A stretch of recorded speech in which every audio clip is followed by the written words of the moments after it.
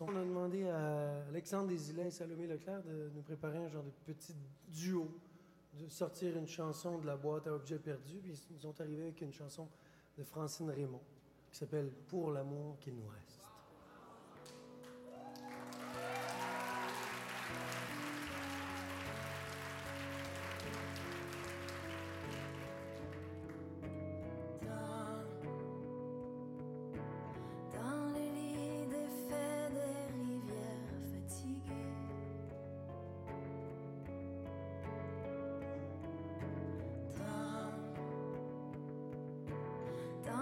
yeah.